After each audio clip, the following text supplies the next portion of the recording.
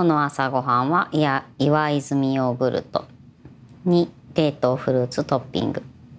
冷凍フルーツは最近なんか可愛いデザインのローソン。ちょっとなんかこの冷凍食品とかの見分けがつきづらいと夫が悩んでいます。可愛いけどね。と今日は水出しアイスコーヒー。こんな感じ。タリーズのやつ入れてみました。いただきます。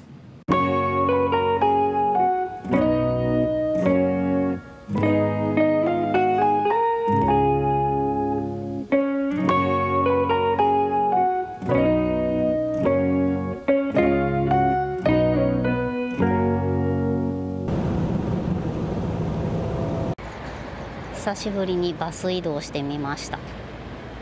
バスの中は人はやっぱ少なかったですね。平日の10時前だからまだそうですね。人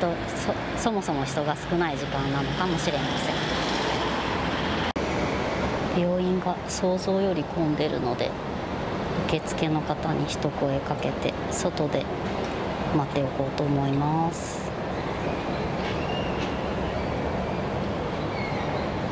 綺麗我が家は買える可能性のある数少ないケンタッキーが閉店になってました。悲しい。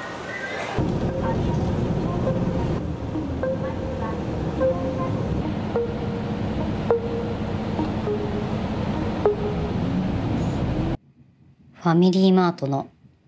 生3つしみうま生。あ違うわ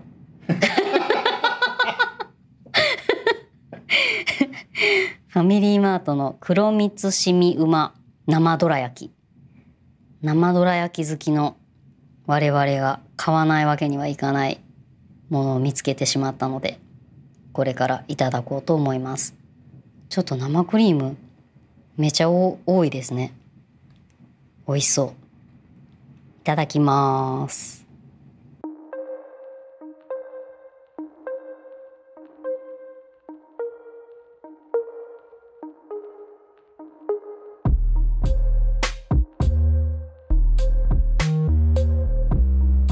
オムライス完成。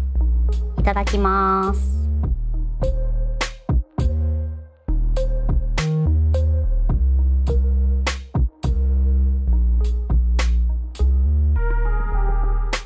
こんにちは。ファイナンシャルプランナーのフローチャーヤです。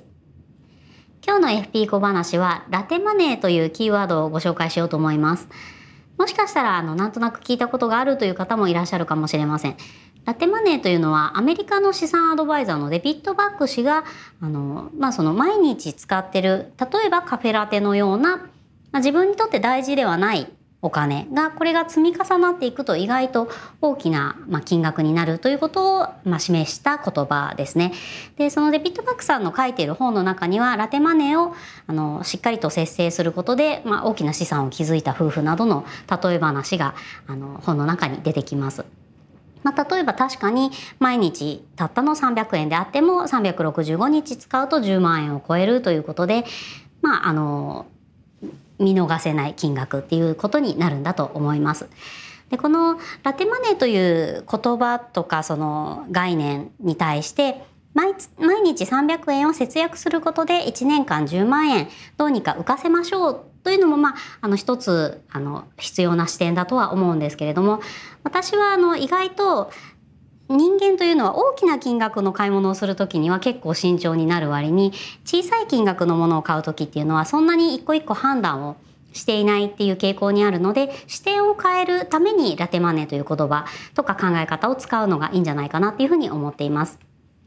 毎日300円のコーヒーでで年間だとどうも10万円を超えますよということを聞いた時にあそれはちょっと確かにお金を使いすぎてるかもしれない嫌かもしれないなって思った方にとってはそれはラテマネーですし、まあ、たった年間10万円で自分の仕事に対する集中力を高めることに、まあ、毎日の300円が貢献してるというふうに考えることができたならばそれはもうあの、まあ、買うのがラテだったとしてもラテマネーではないわけですね。でも毎日数百円という自分があの慎重になりにくい小さい金額であればあるほど、まあ、一旦年額に直してみてそれを嫌だと感じるかどうなのかっていうことを、まあ、自分に問いかけるためにラテマネーという考え方を使ってみるのはいいんじゃないかなというふうに思います。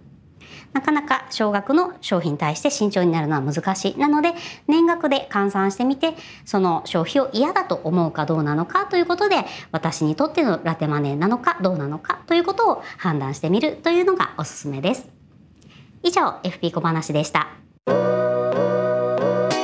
こちらのチャンネル「フローチ Vlog」では日常の記録 Vlog の中にお金に関する情報を織り込んでいくというコンセプトで動画を更新しています